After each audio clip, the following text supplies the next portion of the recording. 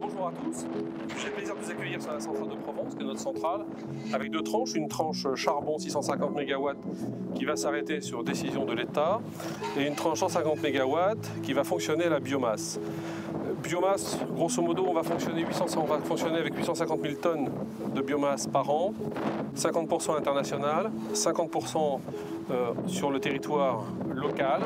On est censé redémarrer euh, dans quelques semaines. Cette centrale va permettre de, donner, de redynamiser le site.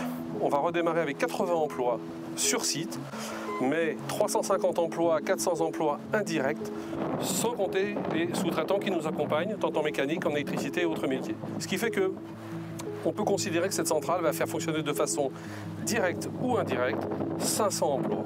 500 emplois sur la région à redémarrer cette centrale. Voilà.